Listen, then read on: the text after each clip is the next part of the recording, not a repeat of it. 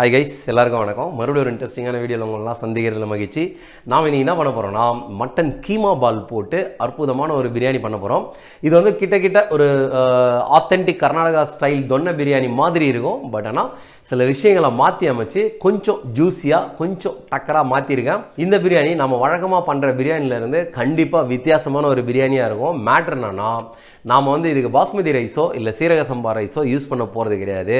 அதுக்கு பதிலாக நம்ம புல்லட் ரைஸ் அதாவது சாப்பாட்டுக்கு யூஸ் பண்ணுற ரைஸை வந்து நம்ம யூஸ் பண்ணி ரைஸ் குக்கரில் பிரியாணி ஆட்சி இறக்க போகிறோம் ரொம்ப சிம்பிளாக இருக்கும் ரொம்ப ஈஸியாக இருக்கும். ஃபைனல் அவுட்புட்டை தமிழில் பார்த்துருப்பீங்க. கண்டிப்பாக சொல்கிறேன் சூப்பராக வரும் ஈஸியாக வரும். நம்மளோட நோக்கமே விதவிதமான பிரியாணியை உங்கள் கையில் எடுத்துன்னு வந்து காம்பேக்டாக சுருக்கி அப்படியே கொடுத்துறது தான் நம்மளோட நோக்கம். ஸோ எல்லாருமே குக் பண்ணலாம் எல்லாருமே பண்ணலாம். பிரியாணி பிரியாணிலாம் ஒரு பெரிய மேட்ரே கிடையாது. ஓகே இப்போ இந்த பிரியாணி பண்ணுறதுக்கு தேவையான பொருள் என்னென்னா நான் என்னென்னலாம் எடுத்துருக்கேன்றதை உங்களுக்கு காட்டுறேன் கறி கறி பார்த்தீங்கன்னா ஒரு முக்கால் கிலோ கறி எடுத்துருக்கிறேன். போன்லெஸ் மட்டனை தனியாக பிரித்து எடுத்துக்கிட்டேன். அரிசி அரிசி பார்த்தீங்கன்னா ஒரு முக்கால் கிலோ. நார்மல் அரிசி எடுத்திருக்கேன். நான் புல்லட் எடுத்திருக்கேன். உங்களுக்கு உங்களோட வீட்டில் யூஸ் பண்ணுற நார்மல் சாப்பாட்டு அரிசியை நீங்கள் வந்து பயன்படுத்திக்கலாம். ஒன்றும் பிரச்சனை இல்லை. வழக்கம் போல் பிரியாணிக்கு தேவையான பட்டை லவங்கம் பிரிஞ்சி எல்லாம் ஏலக்கான்னு என்னென்னலாம் சேர்க்கணுமோ மொத்தத்தையும் இந்த பிரியாணியை எடுத்துருக்கேன். ஆனால் இதெல்லாம் நம்ம என்ன பண்ண போகிறோம்னா அப்படியே பக்காவாக வதக்கிட்டு அரைக்க போகிறோம் எதையுமே அப்படியே ராவாக சேர்க்க போகிறதில்ல இஞ்சி பூண்டு பேஸ்ட்டு இஞ்சி பூண்டு பேஸ்ட்டு எப்படி எடுத்துருக்கேன்னா உங்களுக்கு பார்த்தா தெரியும். ஒரு ரெண்டு பூண்டு பக்காவாக உரித்து க்ளீன் பண்ணி வச்சுருக்கிறேன். ஒரு பெரிய துண்டு இஞ்சி அதையும் பொடியாக நறுக்கி வச்சுக்கிறேன். இதையும் நல்லா வதக்கிட்டு அரைக்க போகிறோம் இந்த பிரியாணி பார்த்தீங்கன்னா நம்ம ஆல்ரெடி பண்ண இங்கே கொடுக்குறேன் தொன்ன பிரியாணி மாதிரி இருக்கும். பட் ஆனால் அந்த பிரியாணியிலேருந்து கொஞ்சம் வித்தியாசமாக இருக்கும். அதை விட இன்னும் ஜூஸியாக இருக்கும். அதை விட இன்னும் ஃப்ளேவர்ஃபுல்லாக இருக்கும். மேட்ரு என்னன்னா நம்ம இதில் வந்து தாளிக்கும் போது ஒரு வெங்காயத்தையும் ஒரு தக்காளியையும் எக்ஸ்ட்ராவாக சேர்க்க போகிறோம் ஸோ அந்த பிரியாணியில் அது இருக்காது. அவ்வளோதான் மற்றபடி மற்ற எல்லாமே சேம் தான். ஆனால் ரைஸ் குக்கரில் போட்டு இறக்க போகிறோம் பதமான நேரத்தில் ரைஸ் குக்கரில் போட்டு இறக்கணும்னா சூப்பரான ஒரு பிரியாணி ரெடி ஆகிடும் வெயிட் பண்ணுங்கள் ஓகே நம்ம இப்போ ரொம்ப பேசுகிறோன்னு நினைக்கிறேன். நிறைய பேசுகிறோன்னு நினைக்கிறேன். சமைக்க ஆரம்பிச்சிருவோம் வேலையாக பார்ப்போம் கம்மியாக பேசுவோம். மட்டனை வந்து நல்ல இந்த மாதிரி நீங்கள் வந்து மீட் கிரைண்டர் இருந்துச்சுன்னா மீட் கிரைண்டரில் கீமா பண்ணிக்கோங்க. அப்படி இல்லைன்னா நீங்கள் மிக்சியில் கூட அரைச்சி எடுத்துக்கலாம். கடையில் கீமா பண்ணி வாங்காதீங்க. அவங்க அந்த உட்டை சரியாக க்ளீன் பண்ணுறது கூட கிடையாது. சும்மா அடிச்சு தள்ளி கொடுப்பாங்க. ஸோ எப்பயுமே நான் அந்த மாதிரி வாங்கினது கிடையாது. ஓகே இப்போ இந்த கீமா பாலுக்கு என்னென்னலாம் தேவை? கீமா பால் எப்படி ரெடி பண்ணுறதுன்றதை பார்த்துருவோம். கொஞ்சமாக கொழுப்பு தனியாக பிரித்து எடுத்து வச்சுட்டேன். ஏன்னா நமக்கு தாளிக்கும் போது இந்த கொழுப்பை போட போகிறோம் செம்ம ஃப்ளேவர்ஃபுல்லாக இருக்கும். உங்களுக்கு பார்த்தா தெரியும். நல்ல மீட்டு பாருங்கள் எப்படி இருக்குது பாருங்கள் ஸோ ஒரு ஒன்றரை ஸ்பூன் அளவுக்கு இஞ்சி பூண்டு பேஸ்ட்டு ஒரு ஸ்பூன் மிளகா பொடி கொஞ்சமாக மஞ்சப்பொடி மஞ்சப்பொடி பார்த்தீங்கன்னா தெரியும். இது பவுடராக இருக்காது. ஏன்னா நம்ம வீட்லேயே அரைக்கிறது இது. வெளியில் நம்மளை ஏமாற்றிட்டு இருக்காங்க. ஸோ இது கூட கறிக்கு தேவையான அளவுக்கு உப்பு ஒரு ரெண்டு பச்சை மிளகா. பொடியாக நறுக்கியிருக்கேன். ஸோ இடையில இடையில பைட்ஸ் சாப்பிடும்போது பைட்ஸ் மாட்டோம். ஸோ அது சூப்பராக இருக்கும். தண்ணி சேர்க்காதீங்க. நல்லா பிசைஞ்சிக்கங்க இதை. கொத்தமல்லி கொஞ்சம் போடுங்க. இது பார்த்தீங்கன்னா பொட்டுக்கடலை உடச்ச கடலை ஒரு ரெண்டு ஸ்பூனு நல்ல பவுடராக வீட்லேயே அரைச்சிட்டேன். ஸோ எல்லாத்தையும் சேர்த்து தண்ணி போடாமல் நல்லா பிசைஞ்சு எடுத்துக்கோங்க. அவ்வளோதான் கைஸ் செம்ம அட்டகாசமான ஒரு பிரியாணியாக இருக்கும் இது. பக்காவாக கீமா பால் ரெடி பண்ணிட்டோம். இது என்ன பண்ண போகிறோம்னா ஷாலோ ஃப்ரை பண்ண போகிறோம் அதாவது பாதி எண்ணெயில் வந்து லைட்டாக அப்படியே ஒரு ஒரு புரட்டு புரட்டி எடுக்க போகிறோம் செம்ம டக்கராக இருக்கும். காட்டுறேன். ஓகே இப்போ என்ன பண்ணோம்? பாத்திரத்தை வச்சு எண்ணெயை ஊற்றியாச்சு எண்ணெயும் காஞ்சிச்சு. கீமா பால் ஒன்று ஒன்றா இது உள்ளே இறக்கி செட் பண்ண போகிறோம் ஸோ அவ்வளோதான் இதில் வந்து முழு எண்ணெயில் பொறிச்சு எடுப்பாங்க. பட் எனக்கு அதில் உடன்பாடு இல்லை. ஸோ அதனால் இது shallow fry complete full fry கிடையாது. இப்போ பார்த்தீங்கன்னா தெரியும். பக்கா வந்துட்டு இருக்காப்புல இப்போயே சும்மா வாசம் தூக்குது. ஸோ பக்காவாக ரெடி ஆகிட்டாப்புல ஸோ இந்த மாதிரி கொஞ்சம் ப்ரௌனாக வந்த உடனே நீங்கள் எடுத்துடலாம். இப்போது இதே ஆயிலில் வந்து நாம் மசாலாவை வதக்கி எடுக்க போகிறோம் பிரியாணியையும் இதுலேயே தாளிச்சிடலாம். நாம் வந்து இப்போ மட்டன் மீட் பாலை ரெடி பண்ணி எடுத்துட்டோம். அடுத்து மசாலாவை தாளிக்க போயிடுவோம். மசாலாவை தாளித்து எடுத்துட்டோம்னா ரைஸ் குக்கரில் சிம்பிளாக மேட்ரு முடிஞ்சிடும் ஃபஸ்ட்டு என்ன பண்ணுறோம் எண்ணெய் காஞ்சிடுச்சு. ஸோ அதே எண்ணெய் நம்ம வந்து மீட் பால் ரெடி பண்ண அதே எண்ணெய் வச்சுருக்கேன் கொஞ்சமாக போடு போடு போடு போடு. இதில் வெங்காயத்தை ஃபஸ்ட்டு போடுங்க. உரிச்சு வச்சிருக்கிற பூண்டை இதில் இறக்குங்க.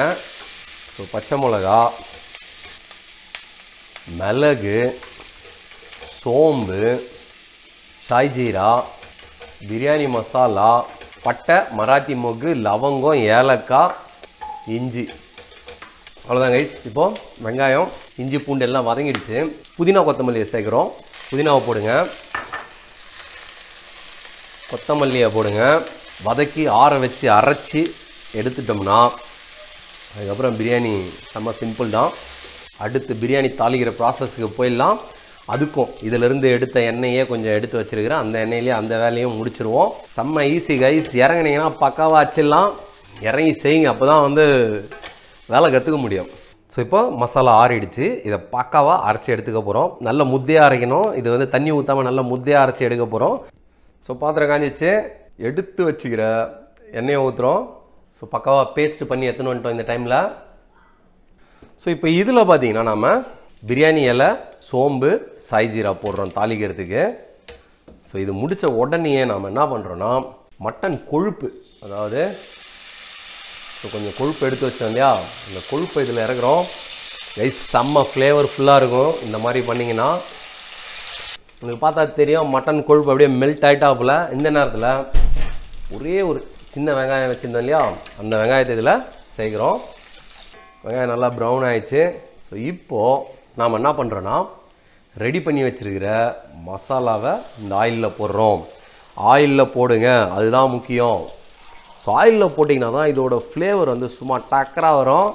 பார்த்தா தெரியும். சும்மா அந்த கொழுப்பு கலந்த ஆயிலில் கைஸ் சும்மா வச்சு செய்கிறேன் கைஸ் இன்றைக்கி கரெக்டாக ஃபாலோ பண்ணிங்கன்னா பக்கா வரும். டேஸ்ட்டு தான் முக்கியம். எல்லாரும் பிரியாணி செய்யலாம். ஆனால் எது டேஸ்ட் ஆகுதுன்றது தான் மேட்ரு இங்கே ரொம்ப பேசுகிறோன்னு நினைக்கிறேன். மசாலா வதங்கிட்டோம். நல்ல இளம்பச்சையிலேருந்து அப்படியே மசாலா பார்த்தீங்கன்னா கரும்பச்சைக்கு மாறி இருக்காப்புல இதை ஏற்கனவே வேறு நம்ம எண்ணெயில் வதக்கி இருக்கிறோம். அது வேற பா சும்மா வாசம் தூக்குது கைஸ் தக்காளி. இந்த தொன்னை பிரியாணியில் பார்த்தீங்கன்னா தக்காளி சேர்க்க மாட்டாங்க. நான் டேஸ்ட் வேணுன்றதுக்காக அடிஷ்னலாக எல்லாத்தையும் மாற்றி பண்ணியிருக்கேன். இப்போது தக்காளி லைட்டாக வேகட்டும். ஸோ இந்த தொக்குக்கு தேவையான அளவுக்கு மட்டும் உப்பு போடுங்க. மிச்சத்தை நம்ம ரைஸ் குக்கரில் போடுறதுனால ரைஸில் பார்த்துட்டு போட்டுக்கலாம். ஸோ உப்பு போட்டு அப்படியே லைட்டாக வதக்கிக்கோங்க. தக்காளி வெந்துட்டாப்புல. சாயில்லாம் தனியாக பரண்டு வருது அப்படியே. இப்போ நாம் என்ன பண்ணோன்னா இந்த மிக்ஸி மசாலா அரைச்சோம் இல்லையா? அதை கழுவுன கிளாஸு ஒரு கிளாஸ் தண்ணி ஊற்றுறேன் ஸோ ஒரே ஒரு கிளாஸ் தண்ணி ஊற்றிருக்கேன் பார்த்தா தெரியும் உங்களுக்கு எண்ணெய் அப்படியே பரண்டு வரா போல் பாருங்கள் ஸோ இந்த நேரத்தில் நீங்கள் என்ன பண்ணுங்கள் ரெடி பண்ணியிருக்கிற மட்டன் மீட் பால்ஸை வந்து இதில் இறக்க போகிறோம் ஒரே மாதிரி பிரியாணி செஞ்சு சாப்பிட்டவங்களுக்கு கண்டிப்பாக இது வித்தியாசமான பிரியாணியாக இருக்கும். அதை நான் சொல்ல பார்க்குற நீங்களே ஒத்துக்குவீங்க. நம்ம வீட்டில் ரெண்டு எலி இருக்குது ஒரு ரெண்டு பால் காணாமல் போயிடுச்சு. ஸோ இதை பொறுமையாக லைட்டாக மசாலா படுற மாதிரி ரெடி பண்ணுறேங்க அவ்வளோதான் கைஸ் இப்போது அவ்வளோதான் இதில் வந்து வேலை முடிஞ்சிச்சு. இதை அப்படியே ரைஸ் குக்கரில் இறக்க போகிறோம் ஸோ ஆஃப் பண்ணிடுறோம். ஆஃப் பண்ணிட்டு இவனை ரைஸ் குக்கரில் இறக்க போகிறோம் ஸோ இப்போ இதை வந்து அப்படியே தழுக்கா பக்குவமாக பார்த்து எலக்ட்ரிக் ரைஸ் குக்கரில் இறக்கிட்டோம். ஸோ இந்த கிளாஸில் பார்த்தீங்கன்னா நான் மூணு கிளாஸ் ரைஸ் எடுத்தேன். So one is to two சொல்லுவாங்க. தேவையில்லை. ஒன் இஸ்டு டூ போடாதீங்க. ஸோ ஆல்ரெடி வந்து நம்ம ஒரு கிளாஸ் ஊற்றிருக்கோம் ஸோ இது ரெண்டாவது கிளாஸு ஒரு கிளாஸ் கம்மியாக போடுங்க. ஸோ ஒன் இஸ்ட்டு டூ போடாமல் மூணு கிளாஸுக்கு அஞ்சு கிளாஸ் போட்டிங்கன்னா போதும். பிரியாணி சூப்பராக வந்துடும் ஸோ ரெண்டு கிளாஸ் போட்டிருக்கேன். இது அலசி ஊற்றிக்குவோம் மூணு நாலு ஸோ அஞ்சு கிளாஸ். ஸோ அஞ்சு கிளாஸ் தண்ணி போதும். அதாவது மூணு கிளாஸ் ரைஸுக்கு அஞ்சு கிளாஸ் தண்ணி ஊற்றிருக்கேன் கரெக்டாக வந்துடும் பயவிடாதீங்க ஸோ இப்போ நார்மலாக நம்ம வந்து ரைஸ் எப்படி வேக போடுவோம்? அந்த மாதிரி மேட்ரு தான் இது. ரொம்பலாம் காம்ப்ளெக்ஸ் கிடையாது. ஈஸி தான். So rice இறக்குங்க. ஸோ ரெகுலராக எங்கள் வீட்டில் சாப்பாட்டுக்கு யூஸ் பண்ணுற ரைஸ் தான் இது. எதில் வேணால் எப்படி வேணால் எங்கே வேணால் எந்த மாதிரி வேணுனாலும் பிரியாணி அடிச்சு இறங்கலாம். ஒன்றும் மேட்ரே கிடையாது. ஏன்னா நம்ம கமர்ஷியல் நோக்கத்திலலாம் பண்ணுறதில்ல இது வந்து பார்த்திங்கன்னா பேஷன் இது. ஸோ சூப்பராக வந்துடும் பக்காவாக வந்துடும் பயப்பட தேவையில்ல. உங்களுக்கு வந்து ஃபைனல் அவுட்புட்டை காட்டுறேன். உங்களுக்கே புரியும். என்னம்மா தண்ணி இருத்து வைக்க மாட்டேம்மா இதை வள்ளி அள்ளி போட்டுன்னு இருந்தேம்மா நான். ஒரு வேலையும் பண்ண மாட்டேன்றம்மா. என்ன சமைக்க விட்டு உட்காந்துனுக்குற? அடா போம்மா. ஒரு நாள் சமைக்கவே போகிறதில்ல ஓட்டுற போகிறேன் பாருமா நான்.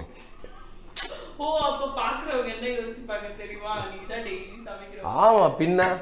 எவ்வளோ கஷ்டம்? இப்போ லைட்டாக ஒரு வாட்டி. அப்படியே தலுக்கா பக்கமாக பார்த்து கிளறிங்க வச்சிட போகிறீங்க பால் அப்புறம் மேட்ரு ஆகிடும் ஸோ இப்போ வந்து நாம ரைஸுக்கு வந்து உப்பு போட போகிறோம் ரைஸுக்கு உப்பு போட்டு டேஸ்ட்டாக பார்த்து மூடி விட்டோம்னா பக்காவான பிரியாணி ரெடி ஆகிடாப்பில் பிரச்சனையே இருக்காது. ஸோ இதில் ரெண்டு ஸ்பூன் கீ போடுங்க. க்ளோஸ் பண்ணுங்க. நம்ம வீட்டம்மாவுக்கு கீ போட்டால் தான் பிரியாணி பிடிக்கும். ஸோ அதனால் கீ கம்பல்சரி நம்ம வீட்டில் பார்த்தா தெரியும் உங்களுக்கு. பக்காவாக வருவாப்புல. பயப்படாதீங்க. ஈஸியாக இறக்கிடலாம். மூடி குக்கர் ஆன் பண்ணி விடுங்க. அவ்வளோதான் கைஸ் மூடி வச்சிட்டோம். ஃபிஃப்டின் டு டுவெண்ட்டி மினிட்ஸில் பிரியாணி வந்து ஆட்டோமேட்டிக்காக குக்கர் ஆஃப் ஆகிடும் வார்முக்கு மாறிடும். அப்படியே வார்ம்லேயே விடுங்க ஒரு fifteen minutes so half an hour கழித்து திறந்து பார்த்தீங்கன்னா டக்கரான ஒரு பிரியாணி ரெடியாக இருக்கும். அரை மணி நேரத்துக்கு மேலே ஆயிடுச்சு. பிரியாணி பக்காவாக ரெடி ஆயிடுச்சு. ரைத்தா ரெடி பண்ணிட்டுருக்கேன் பிரியாணி எப்படி வந்திருக்குன்னு காட்டுறேன். பாருங்கள்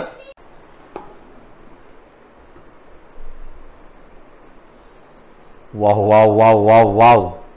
Guys பார்த்தீங்கன்னா தெரியும் உங்களுக்கு. அட்டகாசமான ஒரு பிரியாணி.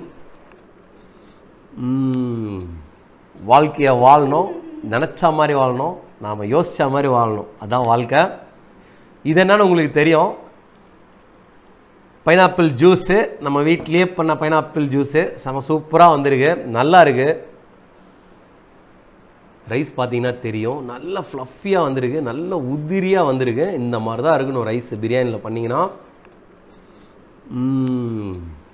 நல்லா அந்த மசாலாலாம் நல்லா இறங்கி blend ஆகிருக்கு உங்களால் ஒரு இடத்துலையும் வந்து நம்ம தனித்தனியாக எதையுமே பார்க்க முடியாது. அவ்வளோ சூப்பராக இருக்குது எல்லாம் அப்படியே சேர்ந்து அந்த மட்டனோட வாசம் கொழுப்போட வாசம் எல்லாம் சேர்ந்து பிரியாணி வேறு லெவலில் இருக்குது நல்லா அள்ளி சாப்பிட்லாம். அந்த மாதிரி தான் இருக்குது பிரியாணி.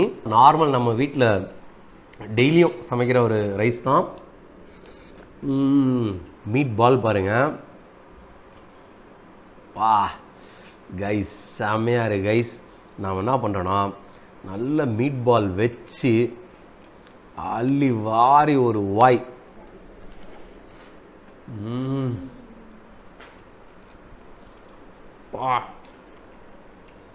கைஸ் தயவு செஞ்சு ட்ரை பண்ணுங்கள் செம்மையாக இருக்குது பிரியாணி. பா ம். டேய் துருவன். நல்ல மீட் பால் வச்சு. அதான் நான் சாப்பிட்டேன். எப்படி இருக்கு? கைஸ் சூப்பராக இருக்குது பிரியாணி. அதுவும் இந்த மட்டனோட சும்மா அள்ளி சாப்பிட்னே இருக்கலாம் போல இருக்கு. மீட்டில் தனியாக ஒரு காரம் இறங்கி இருக்கு இல்லையா? வேற லெவல் அது. ம், இந்த மீட் பால்லாம் பத்தாது. மீட் பால் மாதிரிலாம் இல்லை. ஒன்று ஒன்று ஒரு அணுகுண்டு மாதிரி இருக்கு. என்னடா? இவர் முடிச்சிட்டா போல. இன்னும் கொஞ்சம் ரைஸ் பண்ணணும் அவருக்கு. கைஸ் ஒரு உன்னதமான ஒரு டேஸ்ட்னா நான் இந்த பிரியாணி சொல்லுவேன். சூப்பராக வந்திருக்கு. கண்டிப்பாக வீட்டில் ட்ரை பண்ணுங்கள் இது வரைக்கும் நம்மளோட சேனலை சப்ஸ்கிரைப் பண்ணலனா அந்த சப்ஸ்கிரைப் பட்டனை தட்டி விடுங்க. மறக்காமல் பக்கத்தில் இருக்கிற பெல் ஐக்கானையும் அழுத்தி விட்ருங்க ஏன்னா இதுக்கப்புறம் நம்ம இன்னும் நிறைய வெரைட்டியில் நிறைய பிரியாணியை வந்து பண்ண போகிறோம் நீங்களும் வீட்டில் ட்ரை பண்ணுங்கள் எப்படி வந்துச்சுன்னு கீழே கமெண்ட்டில் சொல்லுங்கள் உங்களோட கமெண்ட்ஸ் தான் ரொம்ப முக்கியம். நீங்கள் கொடுக்குற அந்த ஊக்கம் தான் பூஸ்ட் தான் நம்மளை இதெல்லாம் செய்ய வைக்கிறது. இந்த வீடியோ பிடிச்சிருந்துச்சுன்னா அந்த லைக் பட்டனை தெரிவிடுங்க மறக்காமல் சப்போர்ட் பண்ணுங்கள் சப்ஸ்கிரைப் பண்ணுங்கள் நன்றி வணக்கம். வாய் மீட் பாலோட சாப்பிடு ஒரு வாய். மூடி ரொம்ப சூடாக இருக்கா? எனக்கு சூடு ஆறிடுச்சு. ஷூட் போனேன்ல. செம்மையாக இருக்குல்ல? ஆ உண்மையிலே ஒரு அட்டகாசமான பிரியாணி. அந்த நெய் மட்டன் ஃபேட்டு இது ஃபுல்லாக மீட் ஃப்ளேவர் பால் ஃபுல்லாக மீட் ஃப்ளேவரு ரைஸ் ஃபுல்லாக மட்டன் கொழுப்போட ஃப்ளேவரு எல்லாம் கலந்து வேறு மாதிரி இருக்கு. ம். திரும்ப திரும்ப பண்ண வேண்டிய ஒரு ஃபுட் லிஸ்ட்டில் வந்து நான் இதை சேர்த்துக்குவேன். அவ்வளோ சூப்பராக வந்திருக்கு பிரியாணி. கொஞ்சம் குக்கிங் வீடியோலாம் கம்மி பண்ணிட்டேன். ஏன்னா கொஞ்சம் டயட் பண்ணி இன்னும் கொஞ்சம் சிக்ஸ் பேக்லாம் ரெடி பண்ணலான்ற ஒரு ஐடியாவில் இருக்கும். வேணாம். கேட்டு கேட்டு அவளுக்கு ரொம்ப போர் அடிக்குது.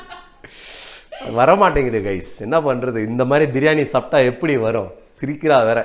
ஓகே நம்ம எப்படியோ ஃப்யூச்சரில் பண்ண தான் போகிறோம் ஒன்றும் ப்ராப்ளம் இல்லை. பண்ணி காட்டுவோம் ஒரு நாள். அதெல்லாம் மேட்ரு கிடையாது. ஸோ இப்போ பார்த்தீங்கன்னா நம்ம நல்ல வெங்காயம் நல்ல ப்ரௌனாக வதங்கிடுச்சு. பத்து கிலோ ஒயர் இருக்குது எல்லாம் சொல்லணும் கைஸ் எல்லாம் இழுத்து போட்டு போயிடுறாங்க. எல்லாரும் தான் எல்லா ஆங்கிள்லையும் ஐஸ் வச்சிருக்க ஒரே ஆள் நான் தான் இங்கே. யார் ஐஸ்? ம். பார்த்தல. ஓகே கைஸ் இப்போ நம்ம என்ன பண்ணுறோன்னா